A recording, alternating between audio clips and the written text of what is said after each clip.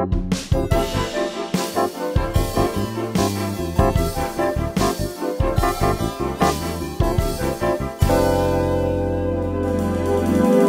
morning, Port Jeff. Welcome to the Rose Network Morning Show. I'm Mia. And I'm Lola.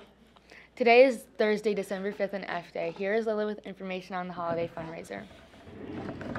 Thanks, Mia. The freshman class will decorate a teacher's door or friend's locker. It is $3 to decorate a locker, $10 to decorate a teacher's door or an office door. If you're interested, you can sign up in room 315 from December 2nd to December 6th. Recently, Apple has released an emoji update that included a yawning face and a flamingo. Here are some of Port Jeff's favorite emojis. So, what are your three most recently used emojis? Mine are red heart, the prosthetic leg.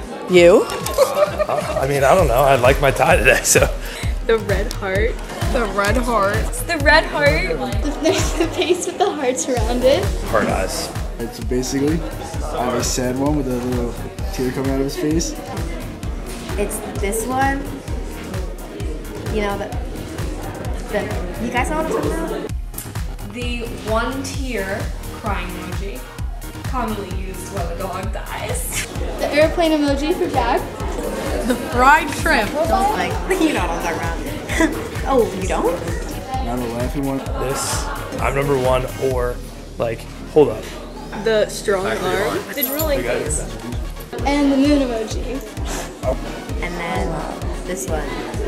The Star eyes. And the star eyes. And the black heart. To represent myself.